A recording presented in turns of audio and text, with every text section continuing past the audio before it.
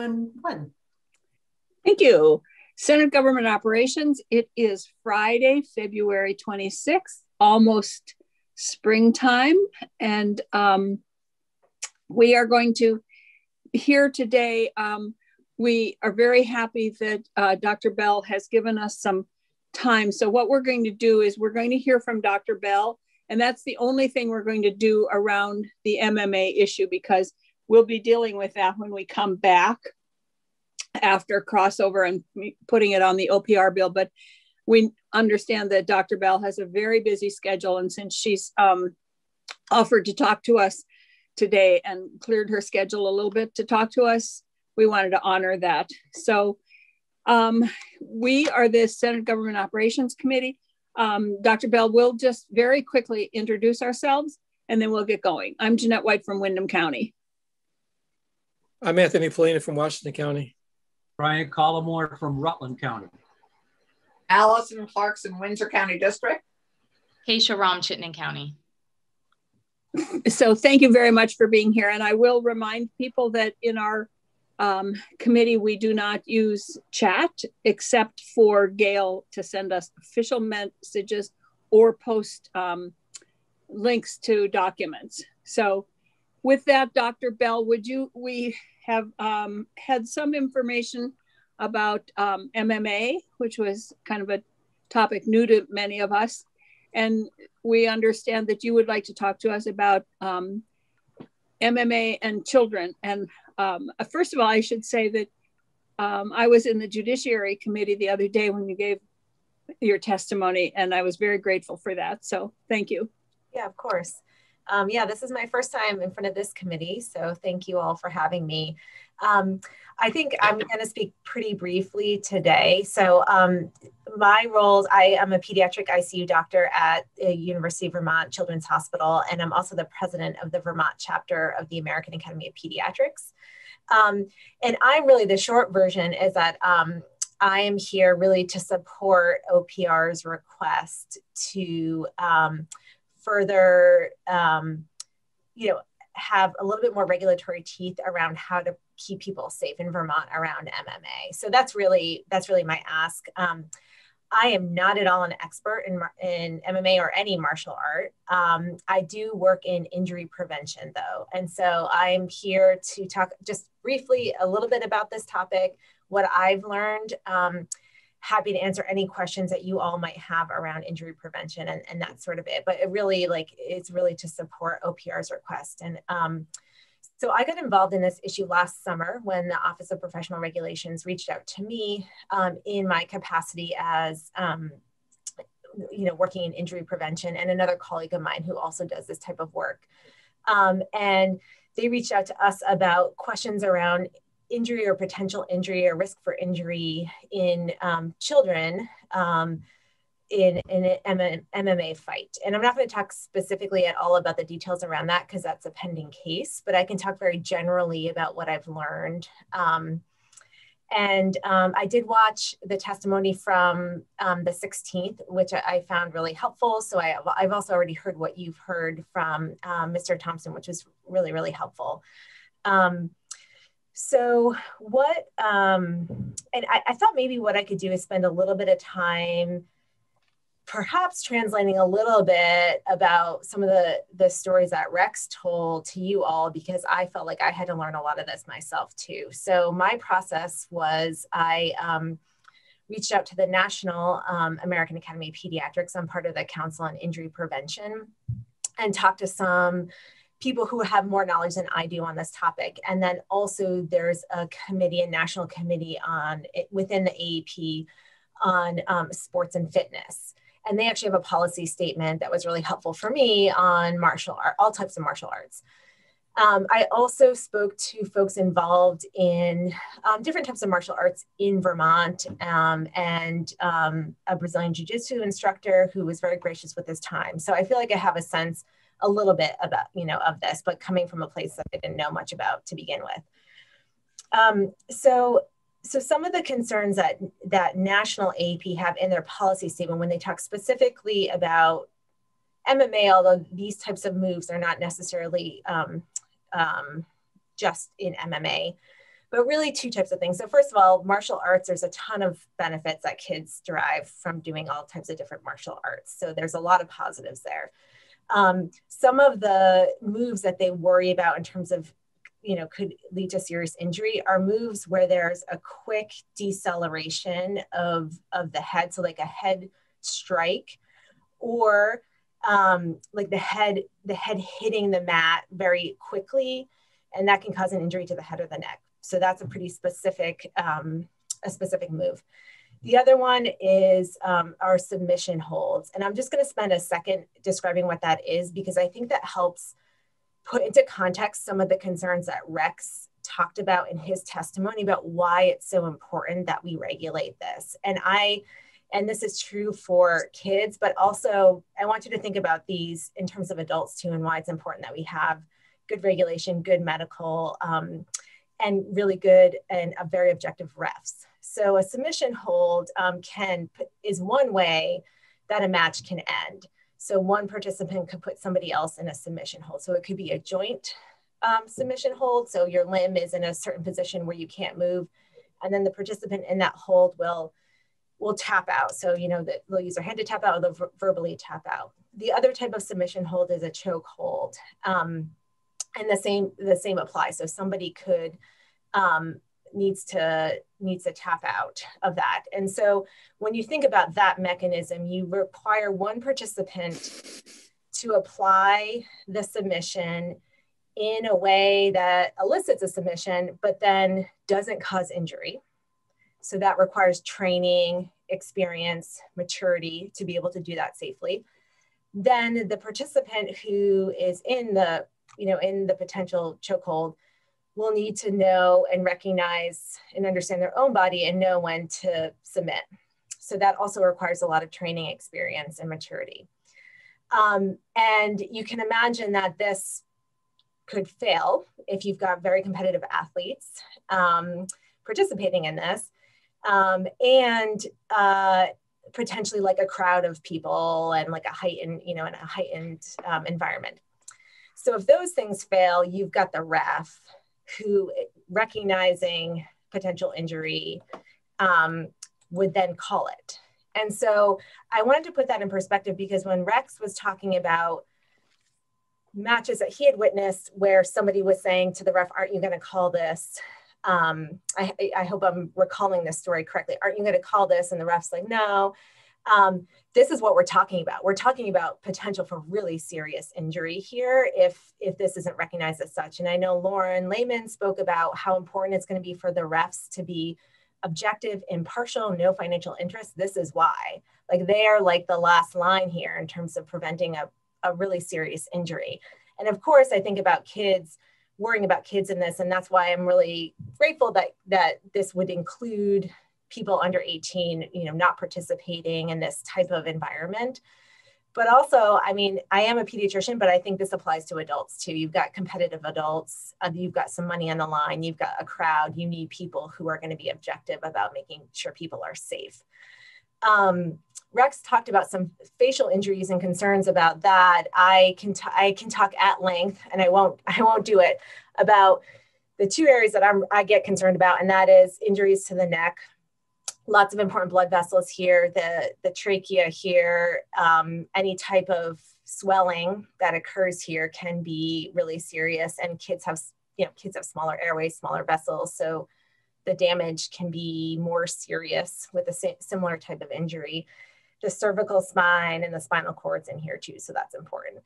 And then the other piece, um, you know, Rex mentioned his 16 year old daughter um, who I, it sounds like was in a chokehold and, and was unconscious. And so, you know, there's some pathophysiology involved in, in pressure here that can lead to somebody becoming unconscious. And although it's something we sometimes see in like movies and videos, and th- that is to me, a pediatric ICU doctor, like very concerning, uh, especially for kids with a developing brain, but even adults, like we shouldn't be you know people shouldn't be unconscious mm-hmm. loss of consciousness is actually pretty it's like really serious um, and although i care about all the organ systems in the body don't tell don't tell the other other organ systems but the brain really is like the most important thing for me so Um, so for all those reasons, just sort of understanding this and how important it is to really like create this environment of safety. And I really appreciate Rex and others who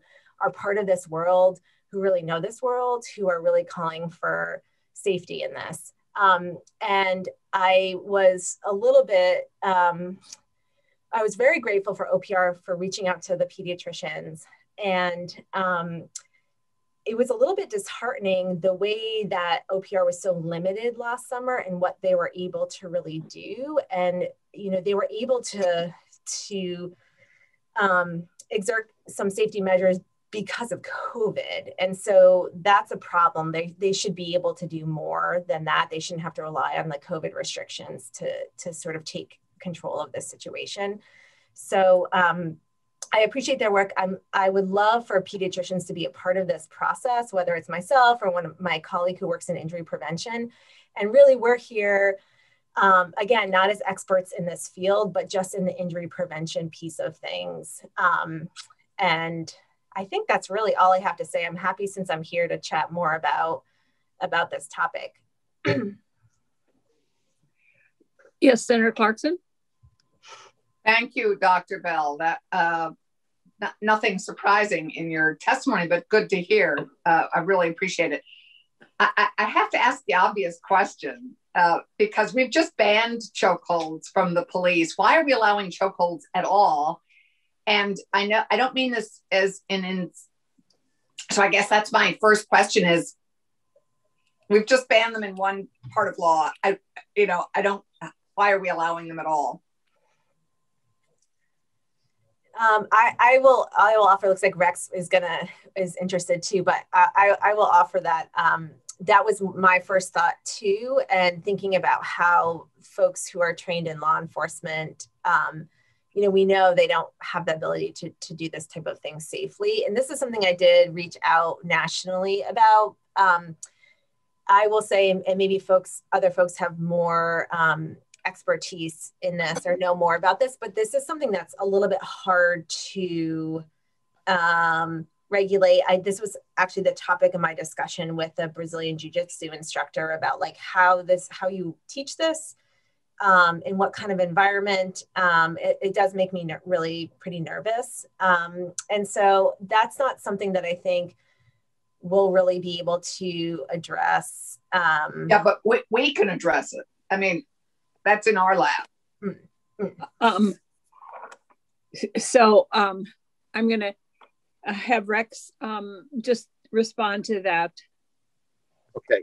So, first of all, a chokehold is not as dangerous as people think it is. It's dangerous when somebody tries to use it that's not trained and understand how the work how the the the choke actually works. There's two different kinds of chokes.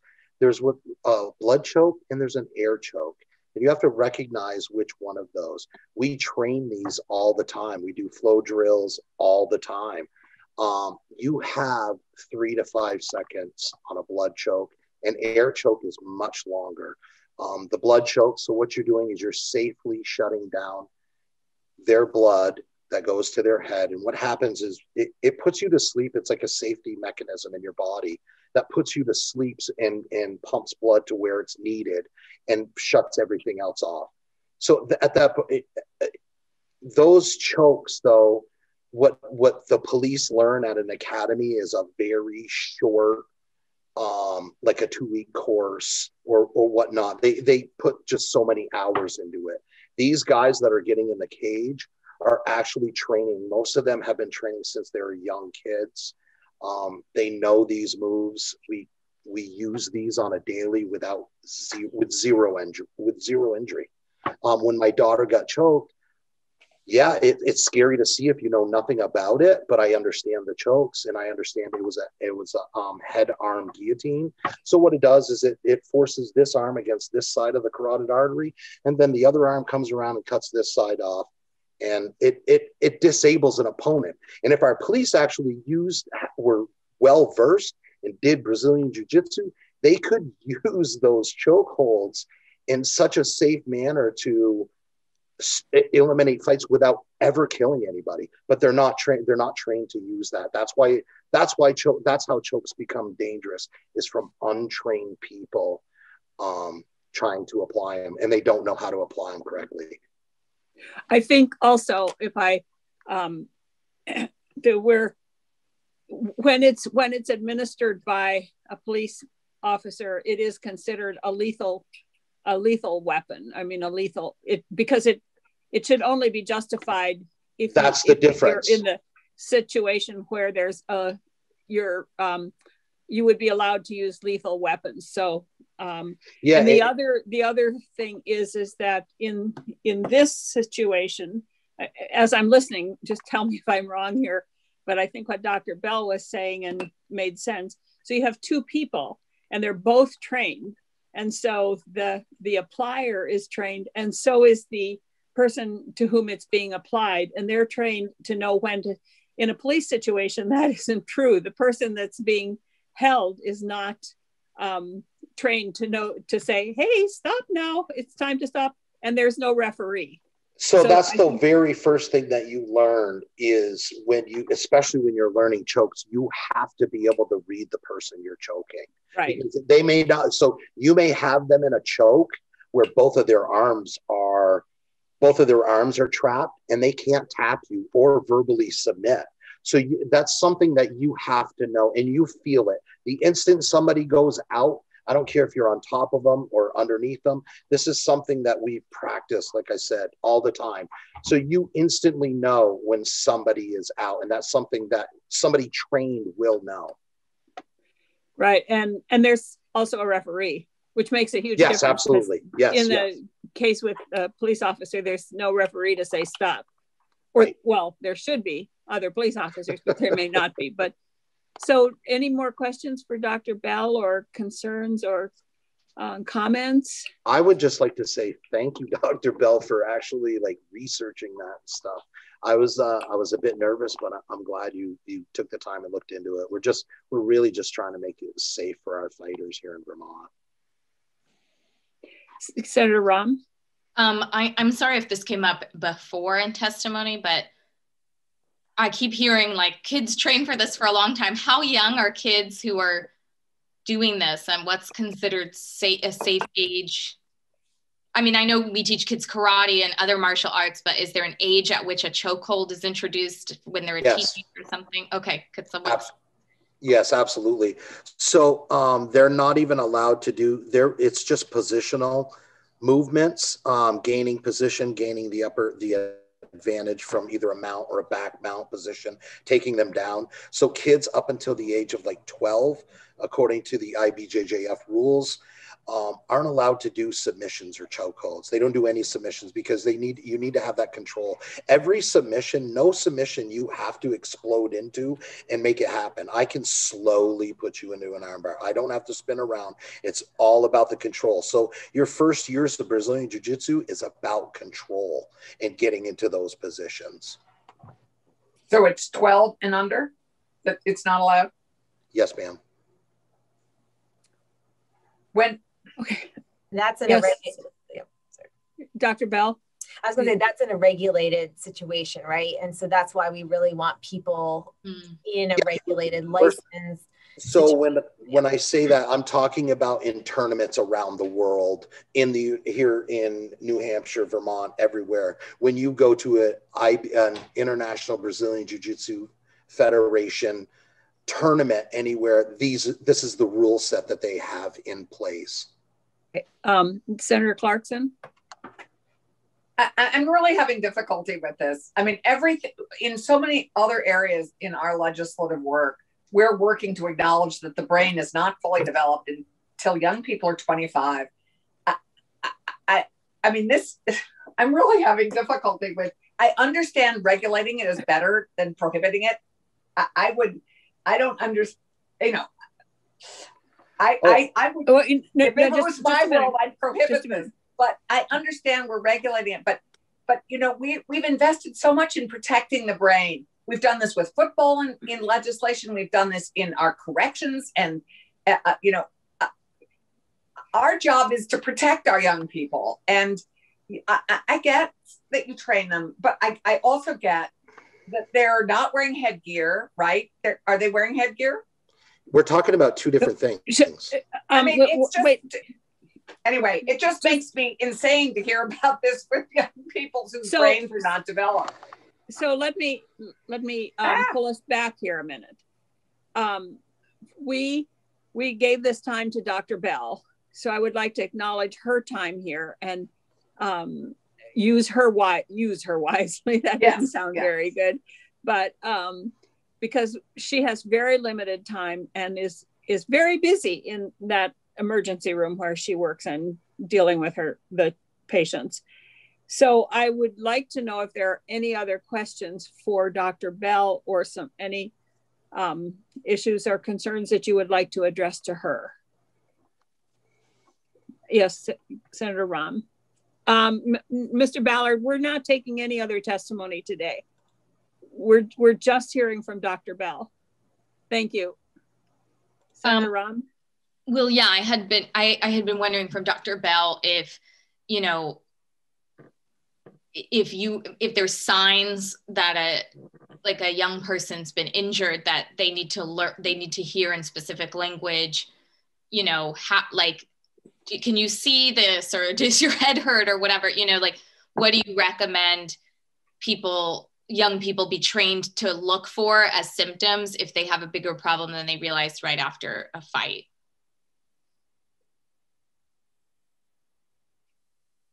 Yeah, so um, I, in, in part of writing up um, what what some of our concerns were around injuries, there's sort of injuries that can happen in the moment, and then injuries that can then happen later. And so, you know, I would almost separate the ones that I'm concerned about are airway related injuries, which you know you could have like an acute what we call laryngospasm with like if you have like a blunt injury to the airway.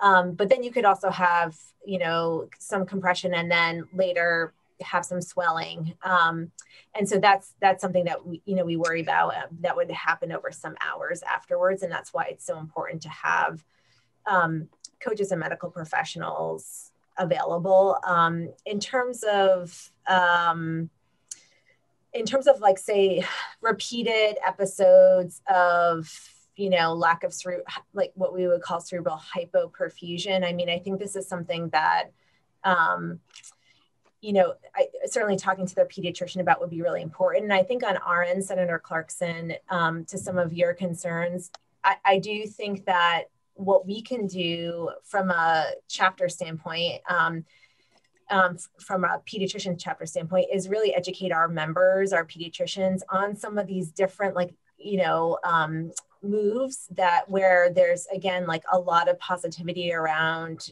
around martial arts. Some some people um, some young people do really well with it but understanding what are some of the moves that we really don't recommend young people doing um, and those would be like those deceleration forces and then any type of for me it would be any type of chokehold. That's what the national american academy of pediatrics says that they shouldn't be doing that.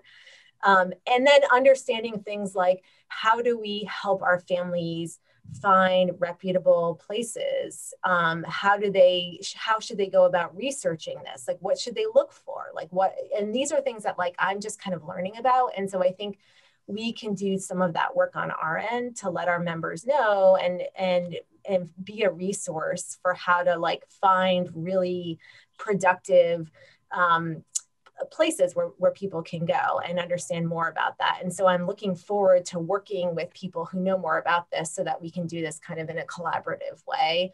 Um, I do think just because I'm a little bit of a pathophysiology nerd, I do think that for the record, I just I have I'm I will just characterize what um, what Mr. Thompson said around the the carotid body pressure as not not safe. That's not something that I, I and I think we'll probably differ on that. But in that case, you're putting pressure he, on on pressure sensors, and they think your blood pressure is your body thinks your blood pressure is high. It drops your heart rate.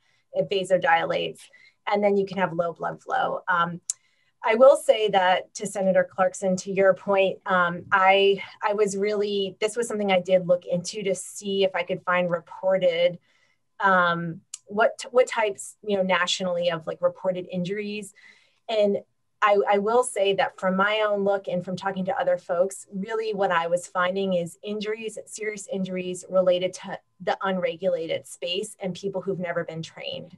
So um, I, I really felt thank you. I, appreciate. I really felt the same way as you when I started this. Like, what? And then um, you know, there are concerns like, you know, stories of people watch, like totally untrained people, young people, like watching an MMA fight or something and trying it at home on each other. Like that, that has led to to badness.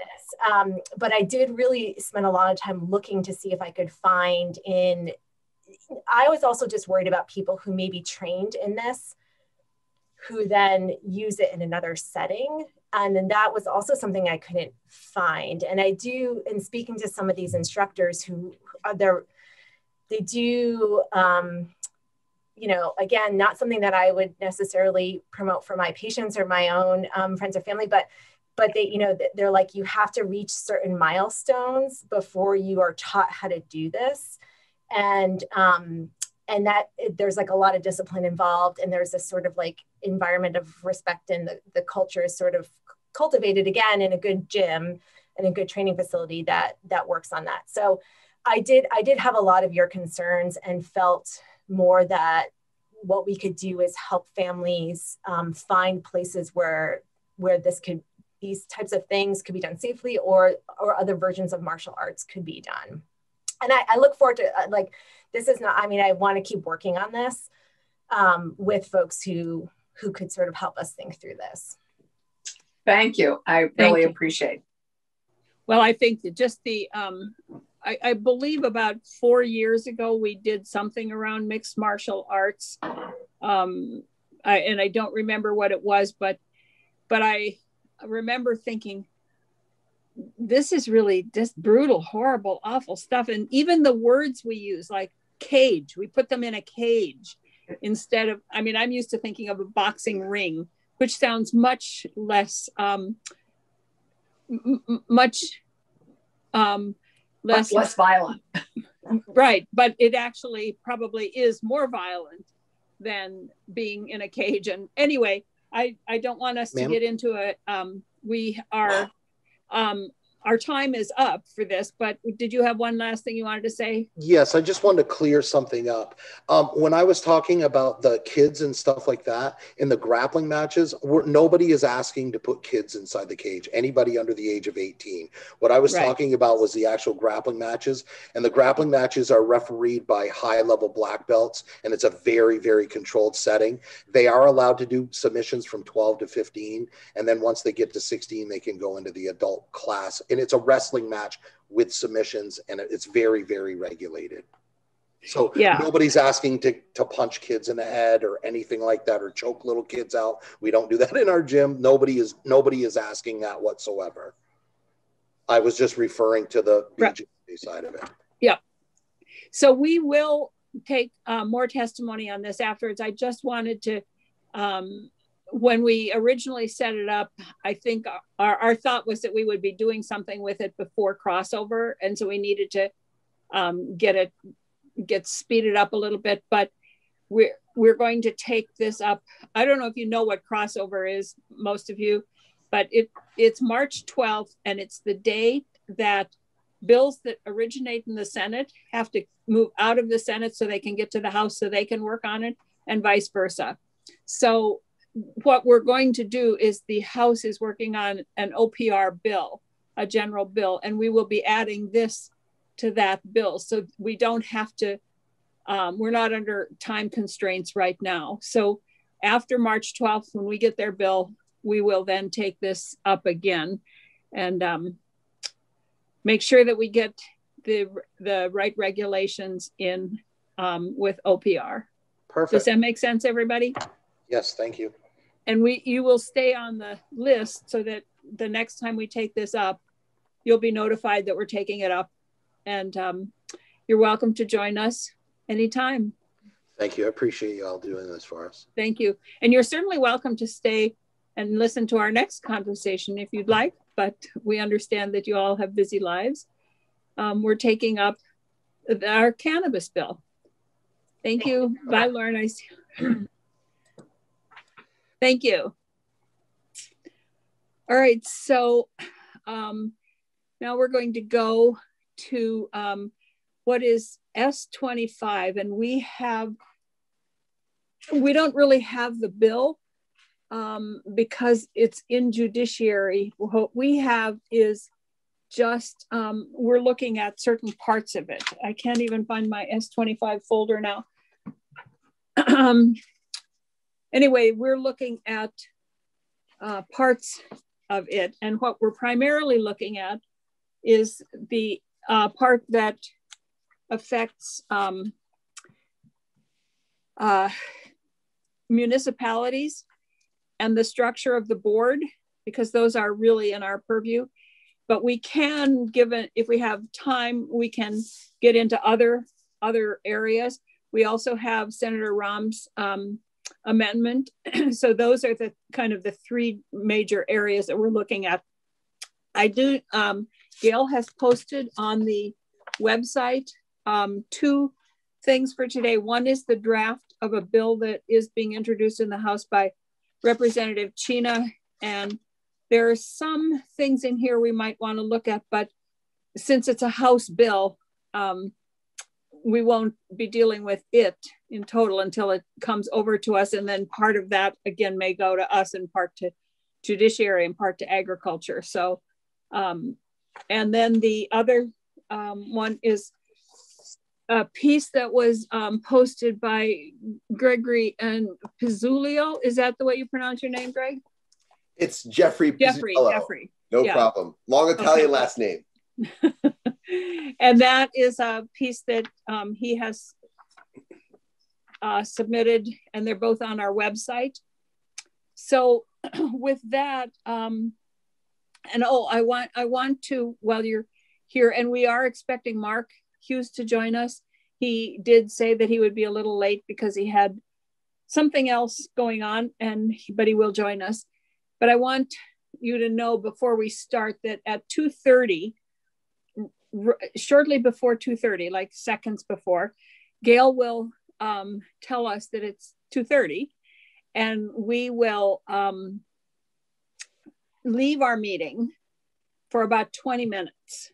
We will come back and i think probably gail because it's such a long break should we all sign out and then sign back in or how, do, how is the best way to do that If you want to, you certainly can, but you you could stay on. If not, I will take us off live stream for that period of time, though. I don't Okay. think we can be in two Zooms at one. huh? Isn't it? Isn't it a Zoom? Yes, Yeah. it's a Zoom. It, We I have to think leave. I'm gonna, we're gonna have to leave. okay I don't we want have to people to get confused. We we have to leave to get on. we have to leave, but other people don't have to leave if they don't want to. Okay, got it. All right, thank you. Um, so with that, let's um is Tucker by any chance with us? Do you know if Gail if he posted anything or Michelle maybe Michelle Michelle is, Michelle's with us. Yes, I, I do see that. Um, I asked Tucker, let's go to um, on S25, go to the very first thing we dealt with here, which is the um, section one, the, the opt-in vote. Michelle, did you get a um, anything from Tucker on that? Okay, I asked, but it may have been late, and I know people are really out straight right now. What I what my suggestion was was that instead of having this here as it is, is instead to s- somehow frame it so that if a t- if there has been no vote by March of 2023, putting it out because of the um, the acknowledgement that we're running late in the towns many of the towns don't want to vote on it because they don't know what they're voting on. But the, if there has not been a vote by t- March 2023, that on the day after the that town meeting, it will be considered an opt-in town. I mean, it, it will be considered a town that allows retailers. That's the way we did it with alcohol. at a there was a drop dead date. If you didn't vote by that date, um, you couldn't prohibit after that.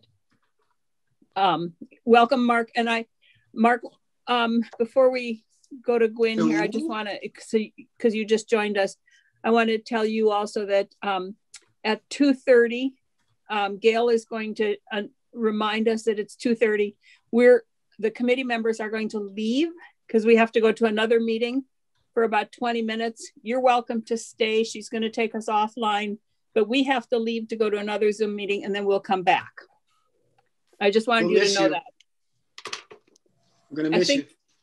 Yeah, this um, this hardly ever happens in committee, but the two days that you've been with us, we've done it. anyway, because yesterday we did it for the joint assembly. So, um, Gwen, did you want to comment on that? Just a point of clarification. Um, I think moving the date back is great. I think that's um, much more reasonable. Um, and then it, it, does clarify things too. If you don't if you don't have a vote by a certain date, then by default you would be considered to have opted in. My right. question would be: Is after that March 2023 date? um, would that mean that a town couldn't go back and say no? They, they could go later? back, and my understanding is they could go back and say no at any time. But if there was a retailer set up, well, obviously, if they're grandfathered yeah. in, they're grandfathered in. Right. But if they were to change their mind, right? Because even now, if a town yeah. is not a, let's say they're not a dry town, there's like very few dry towns left, but there still is the option where they could decide right. to get dry town. I don't know a lot of towns I want to do that, but um, so they would still have that option. Right. Okay. That's I think um, I think that's a much more reasonable. I think that you know, it's not exactly what we wanted, but I think pushing it past next town meeting to that next town meeting, so like we have at least because by next year, hopefully things will be you know, hope semi back to normal. Then um, it'll still give, and then uh, licenses will start going out. Um, the first establishments will you know be up and operating by later that year. And then by that beginning of the next year, that'll be the final time where towns will be able to, you know, weigh in.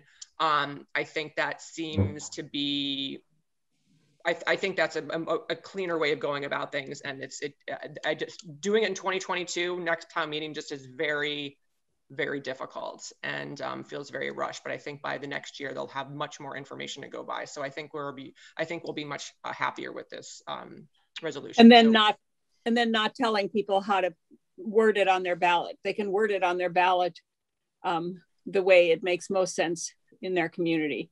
Right. But, okay.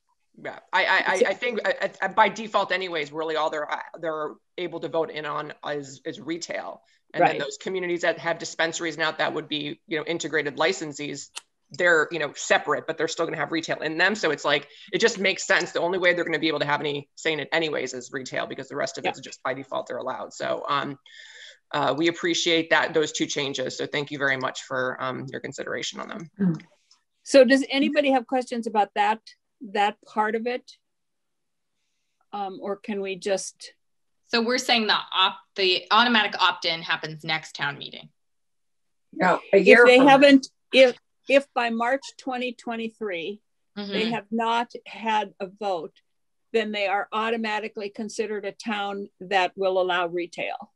Right. Okay. 2023. I don't even know what year it is anymore, but great. Yeah. it's, it's a long because time from now. the the if if we put it at 2022 they have to have things on their warning by January. Right. And we don't even have a a board set up yet that's right. making regulations. So well, the governor addressed that briefly uh, in his press conference this afternoon, sort of about twelve thirty. Really? Yeah, and because the press the press was at pressing him on when is he going to have it, when is he going to get his, uh, when is he going to appoint people? Oh, and what did he say? He said he was doing it would be done by the end of the session. Somebody said, "Well, how quickly?" And he said, "Well, we're no. working on it." And and and he said, "Well, definitely by the end of the session." Somebody said, "Well, no. well, how quickly?" And all he said, I believe that's what I heard, was by the end of the session.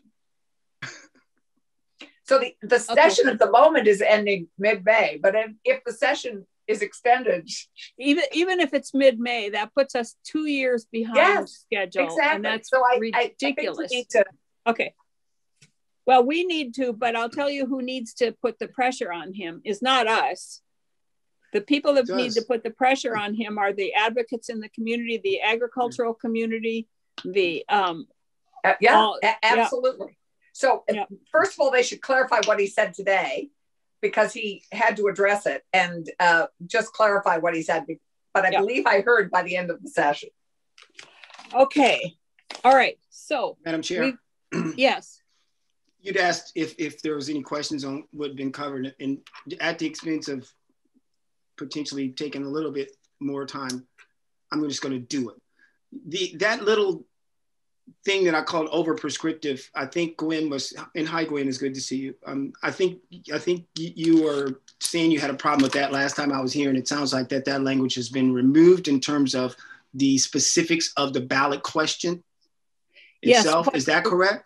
all all that would say here is that if a town has not voted had a vote by march 2023 they would be considered an a town that allowed retail it would say nothing about what they had to put on their ballot or anything else or that they even had to have a vote All right, thank and we we'll get that very specific language from michelle or tucker but that's the intent is to just take that those lines 15 through 18 out and replace them with um, a drop dead date. Does that make sense? Thank you. Mhm. Yep. Mm-hmm. Okay, so are we done with that committee? Any more comments or questions on that? Okay, moving right along. What I'm going to do, I think, is um, I don't know, Mark, if you were here when I said that really in our jurisdiction is the um, the board and the um, responsibilities and makeup of the board. Um, but we'll so we'll address that first, and then given any time constraints, we'll we'll um, oh no, and the uh, the third thing is uh, Senator Ram's amendment. So we'll address those two things, and then um, given time, we can go into other things just for conversation. But those are the two things that we really need to address today and make sure we settle on. And and we also are going to have this on the if we don't get uh, things completely settled today, we will have this on the agenda again next Tuesday. Um, th- that we can take it up.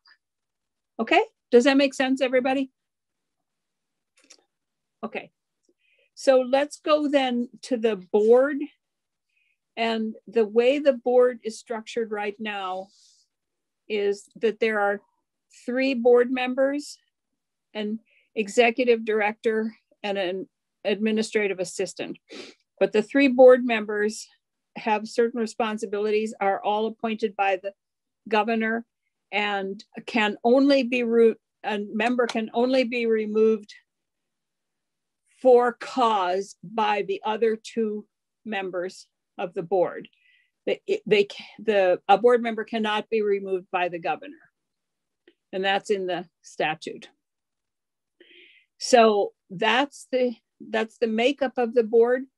Um, and they have a lot of responsibilities. I know that in Gregory's, um, on pa- uh, his page, they're not um, numbered, but uh, his section three addresses the regulatory body. So Greg, Greg Jeffrey, Jeffrey, would you like to? Um, Sorry, where are we finding thoughts? that? Where can we find that? Because I I'm looking at uh, S25 as drafted. It's on our document. Gail posted, put it on our page. Is it the cannabis social equity piece? It is. No. Is that Well, what it's I called? don't see it. I just have Michelle Childs and cannabis social equity. It is the social equity one. I'm not allowed to post something as a bill unless it's actually No, in no, committee. that that that's not the one. Oh, that's the one there's that Peggy gave me, Senator. She only gave you one. Yes. Oh, because I this is this is Brian Cina's bill. yeah, yes. Right. That's all I have also. Jeffrey has um, a two, a three or four pager here that I thought Okay. actually, If I may, I, I can drag files to the chat. I don't know if technically uh, that's appropriate or not, but I do. we don't use chat. Okay. So if you could email it to us, that would be good. We could see it in email. Okay. And Or- include me, Jeffrey, and I'll post it. Okay. And you can also just, there's only three bullet points under it. So So just talk, yeah, just tell them to us. there's, There's also in S25 there isn't anything about re about the board. Right. So it's Right. not part of Right. S25. This is just something that's a proposal by a witness. So Yeah. This I- is- ex- this is a proposal to add this, to make other changes to S25. I'm, It I'm is happy to read it. I'm sorry. Yeah, just the regulatory body part. You have only Certainly. three bullet points under that. Yep. So just, why don't you just tell them to us? Uh, I will read it, and just so you know, Gail, I did uh, email Q just just as background. Um, okay, so uh, section three uh, that we have. in our- Sorry, just if you'd be kind enough to introduce yourself for the record. Oh, I apologize. Uh, lots of uh, hearings, and I apologize for that. For the record, uh, my name is Jeffrey Piscitello. Uh, I'm the uh, co-founder and executive director of Vermont Growers Association. Uh, I'm also a professional cannabis grower, um, and we represent we're a, we're a C4 uh, mutual uh, welfare organization, uh, and we represent uh, the cannabis professionals in the state uh, as their trade association. Think of us uh, similar to the Vermont Brewers Association uh, back in the 1990s with Greg Noonan, and when they were seeking the the craft beer marketplace that we enjoy today. So, so that's us. But so can I just clarify that a little bit because that came up after the meeting yesterday about, um, but uh, there really aren't any professional growers legally, right? We're trying to bring them into the into the legal market. yes and no you know i don't i don't want to waste your time with that but uh, professionally in terms of income uh, no that would be illegal but there's more to uh, simply growing uh, than than making a, a living off of it in terms of expertise and skill set um, that sort of thing uh, you know i've been doing this for you know over two decades uh, but that's one of the taboo uh, uh, i want to Yeah. say right natures of this emerging marketplaces we're dealing with illicit actors who uh, are trying to come out of the shadows and it- that's very difficult for me personally as an activist uh, so this is not easy uh, so thank you for underscoring that Yeah, and we I know when we were first dealing with this, we heard a lot of people who wouldn't come forward at all because they were admitting that they were um, involved in an illegal activity. So okay, but thank you, thank you. So go ahead. I'm No sorry. problem. no problem um, and happy to expand on you know my personal background in the future if need be as well um, so getting back to what we're calling uh, the ag uh, and economic equality points uh, for uh, S25 um, and uh, referring to section three, which I believe is on the third page if you guys do have the document in front of you. Uh, section three, regulatory body. Um, point one, create a, create a process with which members of the Cannabis Control Board may be removed either through the advisory committee or the executive and legislative branches. Point two, the advisory committee to the CCB must be seated and active prior to the CCB providing its recommendations to the legislator. So if we recall, uh, currently under Act 164, the, C- the advisory board uh, is seated after, for instance, the CCB introduces or delivers sweeping reforms to the legislative body, you guys. Uh, and finally, the third point uh, under Section 3, the advisory committee to the CCB will have a two thirds majority enabled veto power to override decisions made by the CCB. So those are their three brief uh, bullet points in our proposed language. So committee, does anybody have any technical questions right now about uh, to clarify that? Okay, I guess we understand what you're saying here. So um, can we have a little bit of conversation about about these? Um, take Sorry, let's I- take I the just- first. Can we, I, I just still don't see them anywhere. Look at it. Gail, did you email them to us? I, I'm sorry, I'm just trying to be a good doobie and read them. Because I, you know, for those of us who don't serve on judiciary, we're less familiar with all, all of this. I mean, for I, for example, how many members are on the advisory council? I forgot. Senator well, that Clarkson, I just posted it and I can forward that to oh, you. Oh, great. You're wonderful. But, Thank you, Gail. But I don't believe that's in here anyway, because that isn't. Jeanette, would it be helpful if I just reviewed what the current law is? Yeah. Yes. And I, okay. And then we can so, all be good doobies. Yeah, well, exactly. I knew. Sorry, I couldn't resist. To use that. I couldn't resist. I, it's still I not. It's it. still not on our page, though. It's still not on our page. I don't know where. Yeah. It takes a couple of minutes to update. Sometimes I just did it. It was uh, okay. There seemed right. to be a lag in me receiving it, so it should be up there oh. shortly. Okay. Let. What we're going to do is we're going to have Michelle tell us what the current law around the Cannabis Control Board is, not their duties, but just how they're constituted, and then who the members of the advisory committee are. Right. Okay. Great. Okay, Michelle. Sure. Um, so there are three members, as Senator already mentioned, there are three members of the board, and that's the process that's playing out right now where the governor has the names from the nominating committee and he is to select three members for the board. Um, there is also an advisory committee, and there are 12 members on the advisory committee. They are not uh, state employees the way that the board members are. They are, uh, they receive a per diem and expenses and they're from a variety of backgrounds. And I can um, see about pulling up the, would you like me to pull up the membership? Would that be helpful? Sure.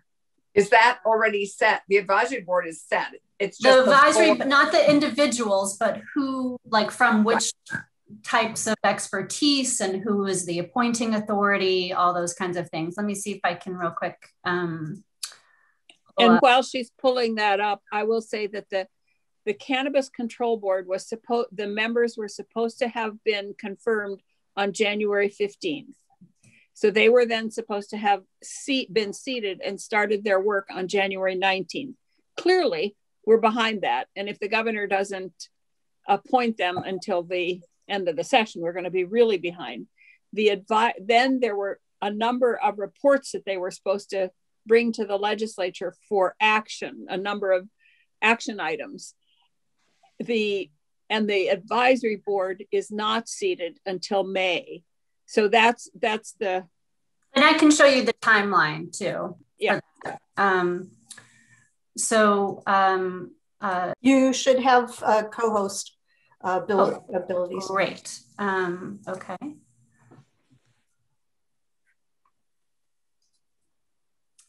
How's that? Can you see that? Yeah. Perfect.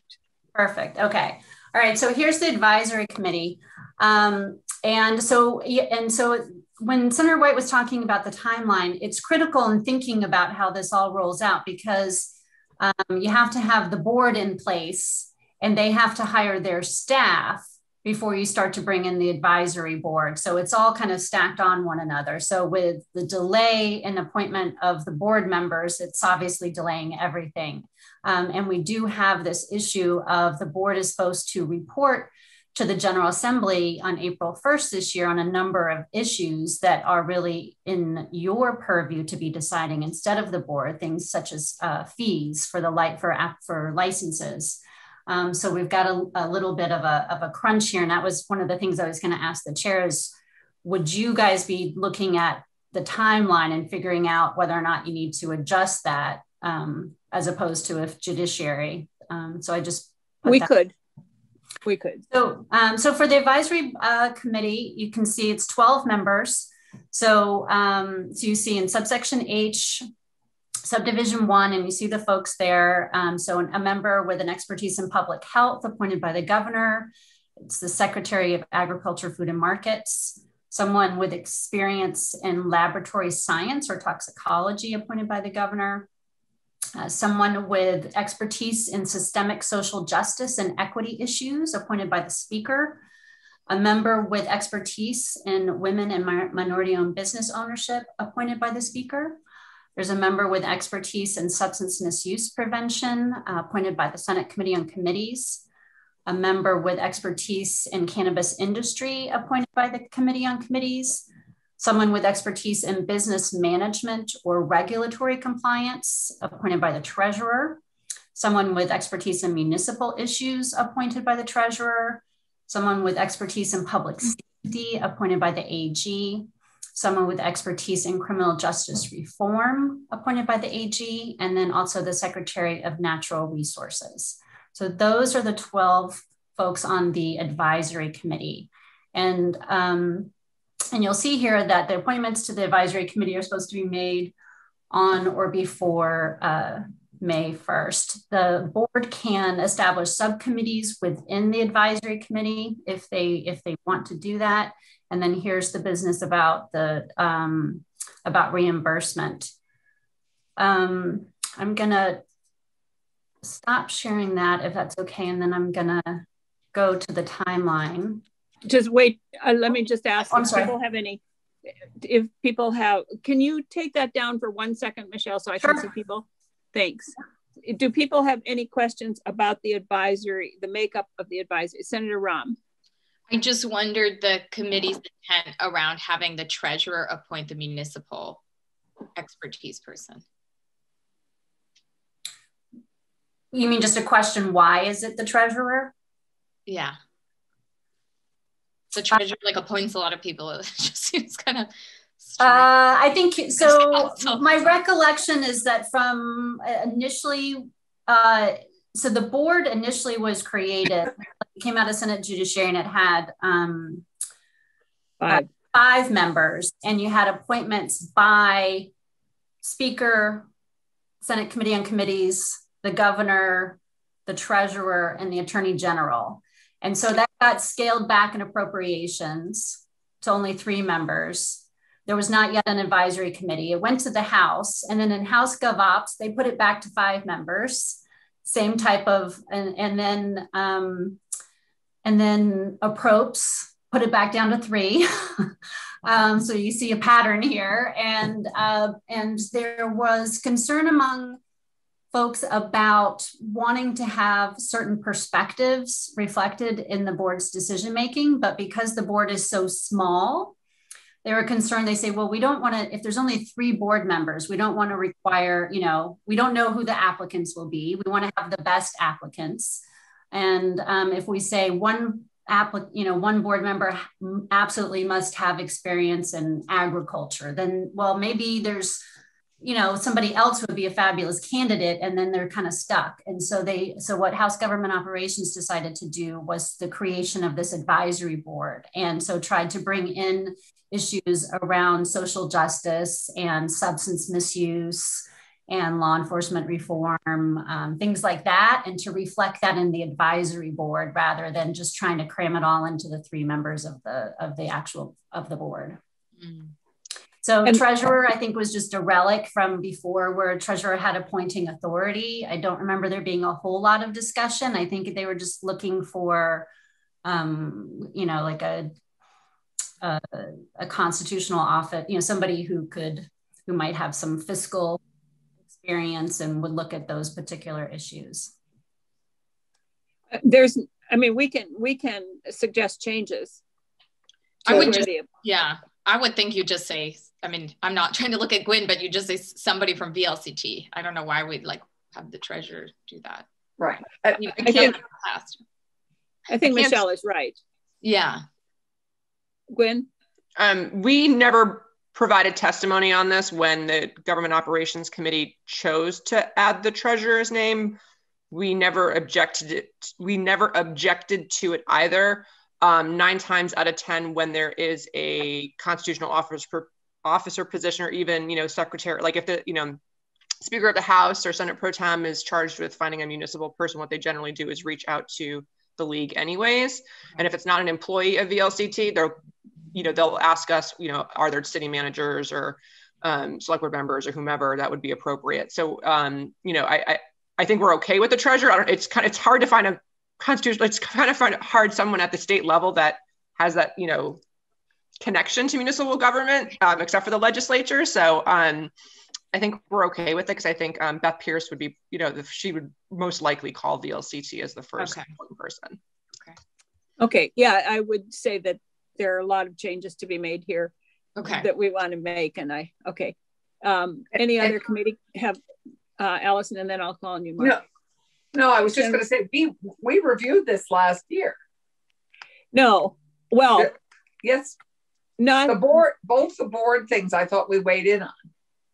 we weighed in on the cannabis control board, but the the um my I don't think that we really weighed in on the advisory Oh, I, committee because that was such a last minute thing and it was part of the negotiations Right. going back and forth and back and forth.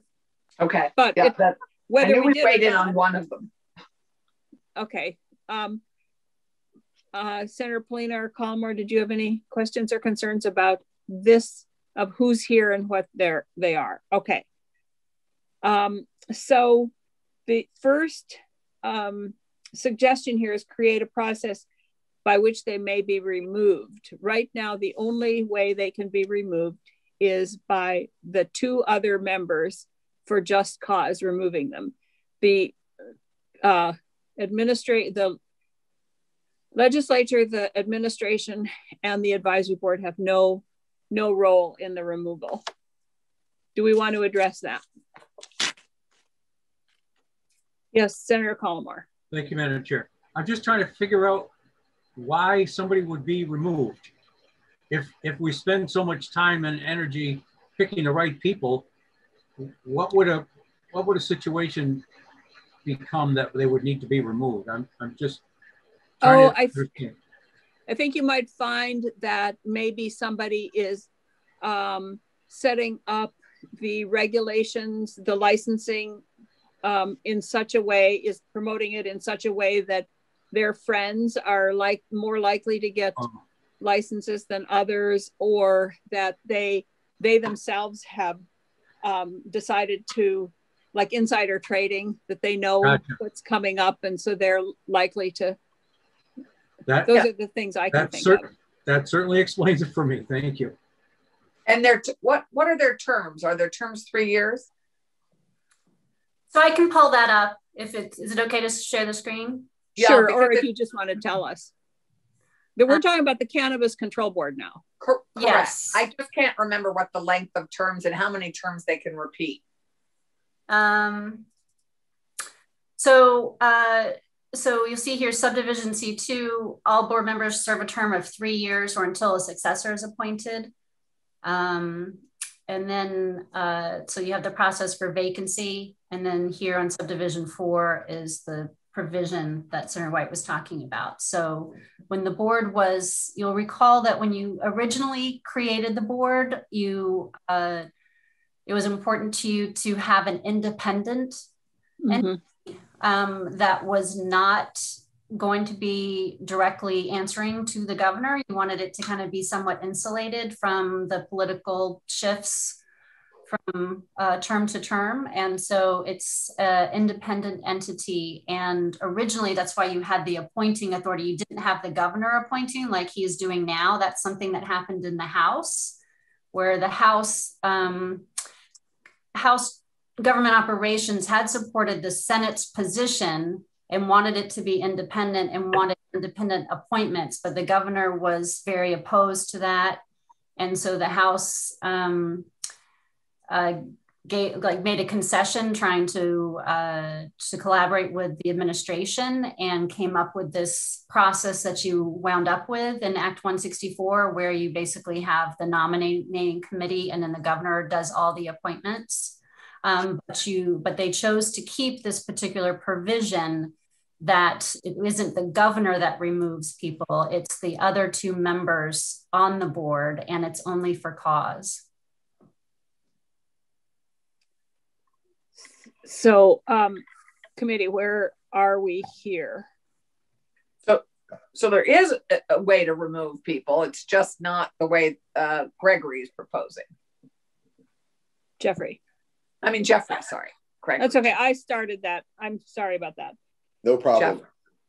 So, Right. and the and the can I just clarify? Is the cause yeah. has to be? It's for an illegal. You know, so if you're removal for cause, it's they violated the law, they violated the regulations. There are um, provisions in this statute um, around conflicts and things like that. So if somebody was did have a relative um, who they had who had a cannabis business who was applying for a licensing, that those are in violation of the statute. So it's those types of things.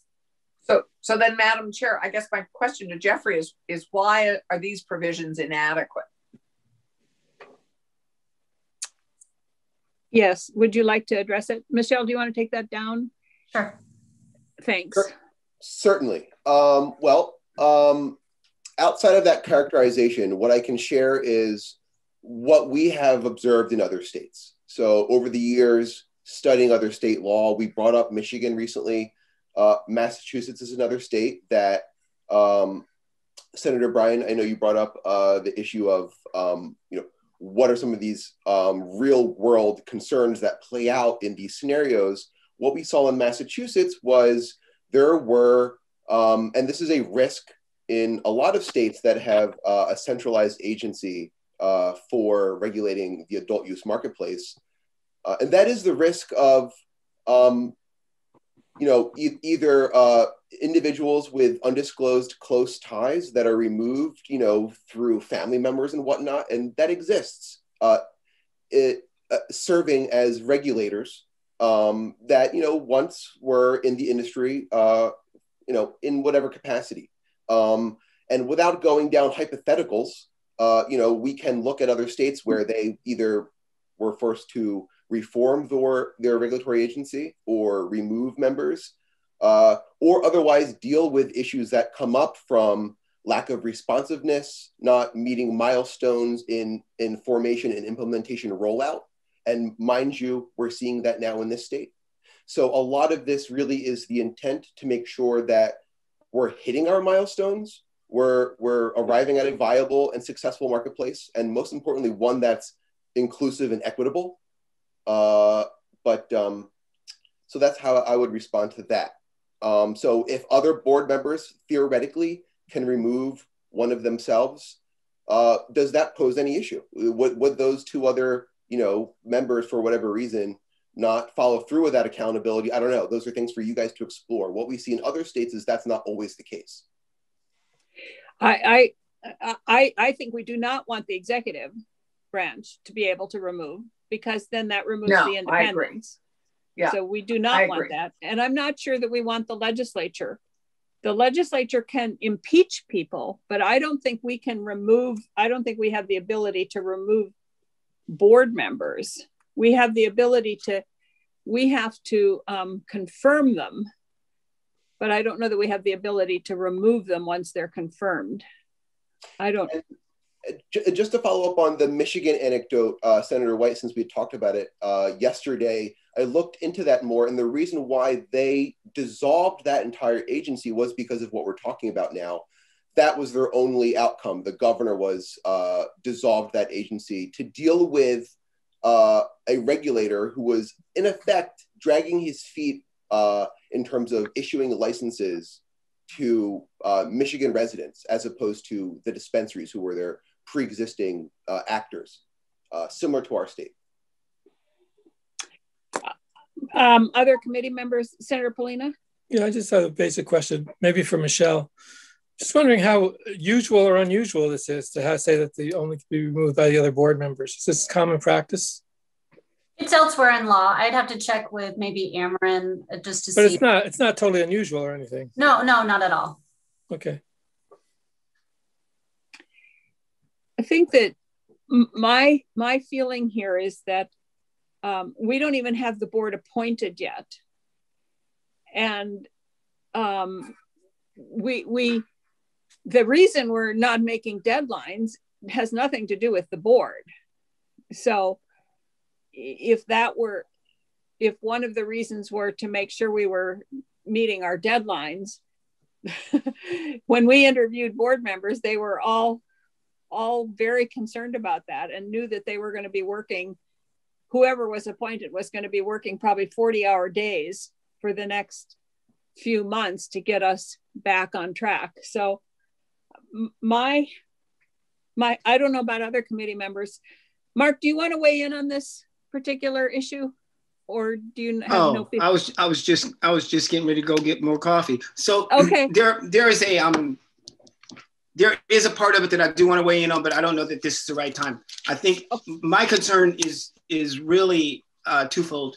Uh, part of it has to do with the uh, the process itself, the appointment process, and the um, the challenges presented to uh, perpetuate the structural racism within the system itself.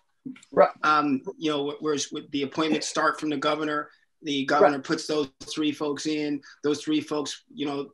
So I, I mean, and it's kind of like, you know, and I'm reading on actually the report, the Social Equity Caucus's report on this, uh, and Susanna Davis and, and those folks. Um, well, there's Susanna's report too, but they have some pretty significant recommendations surrounding these areas. And I was wondering, had the committee reviewed this report? I have. I did not. I don't remember seeing anything about the cannabis control board. Or, or, or uh, removal, because uh, right now we're just trying to, I think, focus on the removal process. I think your point is well taken, which is why I started the conversation with. I didn't know whether this was the right time for me to right. do this, but but but the when we're talking about the it's it's almost skullduggery because in a way what we're doing is, we're talking about a process that exists. We've already passed the point in which we should have had this particular conversation because first we should be talking about how to get the folks in there in the first place okay? So again it sucks to be me because i got to be this guy who comes into these conversations and and throws the monkey wrench in here. Um, but I'm willing to park this part of the conversation and revisit it at a later time. Okay. Yeah, I, I, I think that that's so this, wise because we are we we do have a process in place right now, and mm-hmm. the process has started. Mm-hmm. It isn't moving very quickly, but it has started, and I think mm-hmm. to upend that process right now means we're yeah. at least three years behind and not two.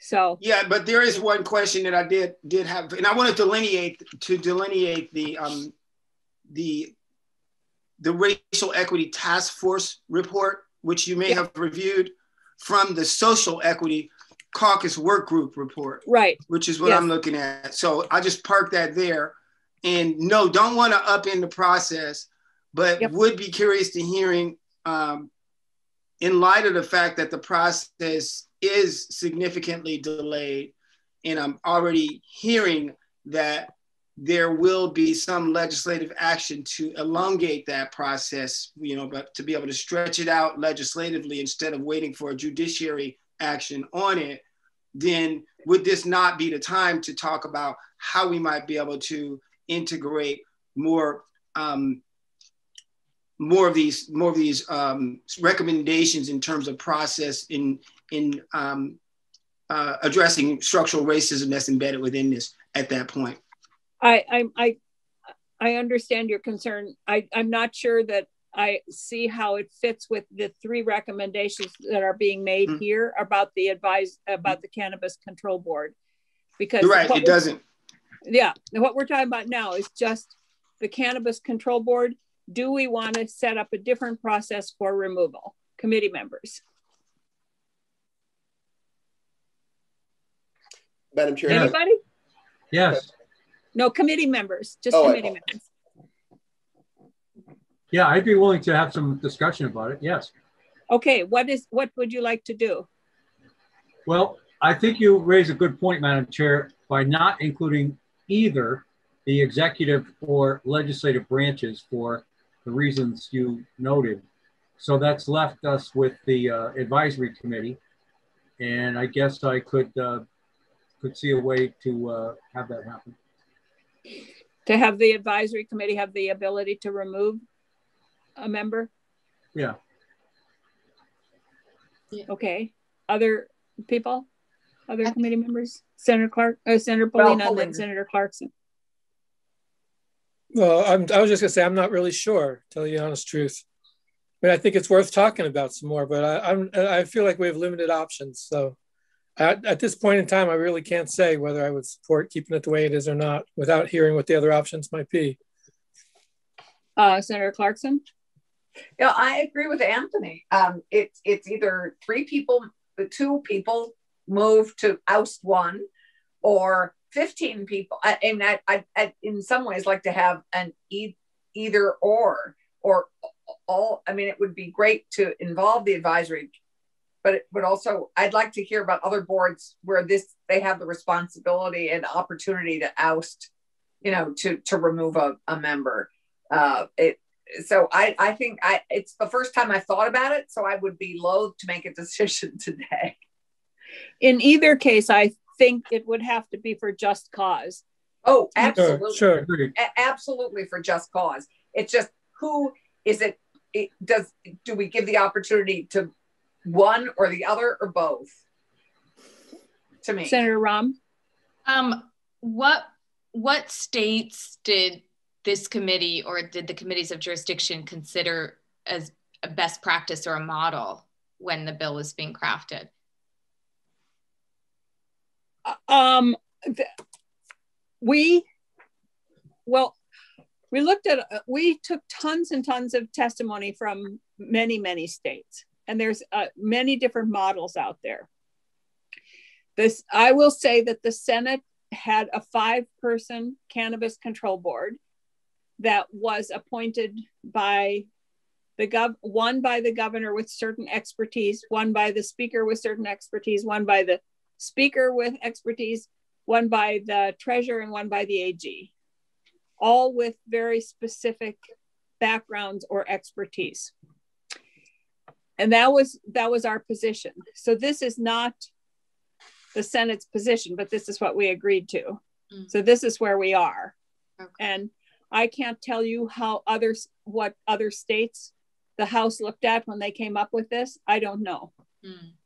I mean, my thought with this and probably other questions that will come up is we have the opportunity to learn from other states that are further along than us. And now we've had even more time to see was there some kind of drama that erupted in another state around a member? How did they handle it? Did that go well or not? I just think we have the benefit of not being first and and i would hope we take advantage of that somehow with other states that as long as we can do it by tuesday well i'm try- that's why i was like should i google stuff like i'm just curious what the news has been on other states lately well i mean jeffrey did bring up the michigan and all they did was they they couldn't figure out how to get rid of the one person who was being bad so they dissolved the whole yeah. the whole thing i mean i think that we can do better than that. Right. um, so, Senator Collamore. Thank you, Madam Chair. My thought on just allowing the other two members of the control board to do it is one might agree and one might not. And then where are you? You've got a tie. And, and in essence, you haven't done anything because you're, you know, so I think yeah. there has to sort of be a, an odd number. Now, 15 people, maybe that's too many maybe you should have a subgroup of that 15 member advisory council that's charged only with removal and you make it a five person i don't know what the right answer is but well, I, it, I do know that you're going to have a one-one tie in a yeah. lot of cases and that doesn't work yeah. right it, it's tw- it's I, I mentioned 15 because it's 3 and 12 it's 12 on the advisory board i think so it's an even number also on the advisory board oh i thought it was 15 i'm sorry I mean, you no, could I, have some. I 15 because you have the option of either or, and if you included all 15 of them weighing in on it. But obviously, one of them wouldn't be weighing in because one of them was being removed. You so you you could have um, that either a core, a majority, or two thirds of the um, advisory board could take action. Which would give you a, a, a, separate a section second uh, um, oh it's 230 i believe. Oh. It's almost 230 it's very close. It's very close. So let's think about that um, and come back with that. Um, the perhaps having um, and the advisory board is set up to be specific experts in areas they're not just general appointees they are there because they have um, a background in lab science and toxology or in systemic racism or in public health. So they are there for very specific reasons, but you could do something like two thirds of, of Mm-hmm. them, which is an option. Madam Chair, can I make a note before we um, Yes. take our break? And that is that I've been in touch with Tucker and he's going to try to join us this afternoon. Oh, great. Oh, Yeah. Okay. Thank you. All right. So we will see you, Jeffrey, Mark, Gwen, Michelle. We'll see you Wait. later. I I'm not available after three, so um, Okay. sounds like maybe it might work out if Tucker can join me then. Yep.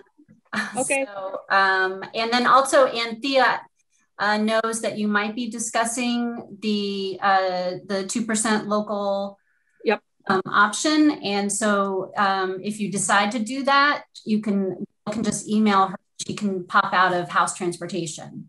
Okay. And we might not get to that till Tuesday. but- Okay. Okay. All right. So we'll. Have a great weekend, folks. Thanks, Oh, Michelle. You're not We'll be coming back back. to us? I'm not. I'm not going to be able to come back this afternoon. I appreciate the invitation, um, and I All hope right. you, everyone has a great weekend. If I